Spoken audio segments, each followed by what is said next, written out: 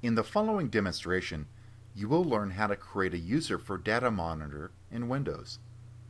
You will see how to add the user to the built-in groups.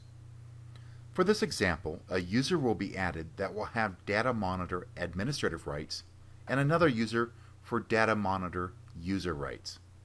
Click Next to continue.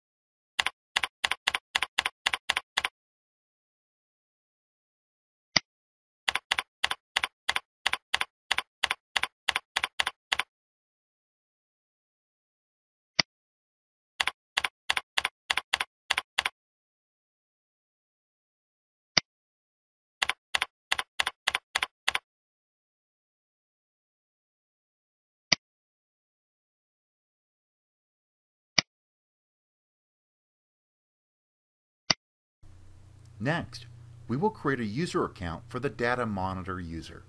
Click Next to continue.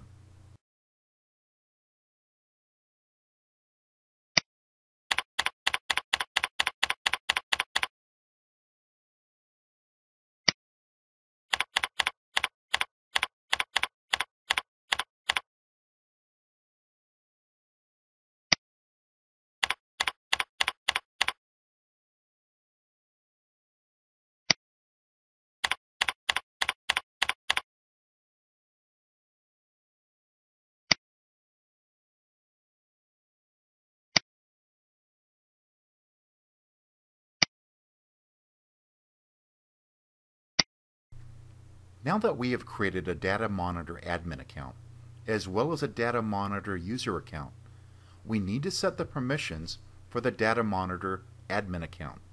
Click Next to continue.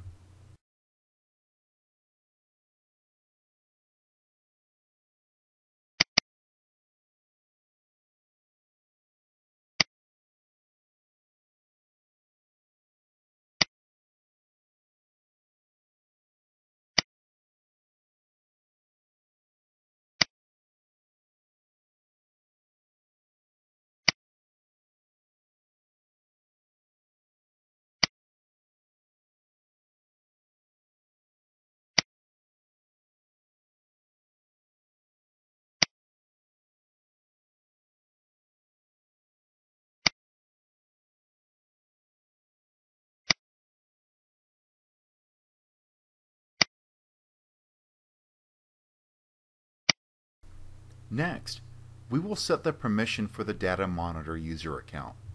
Click Next to continue.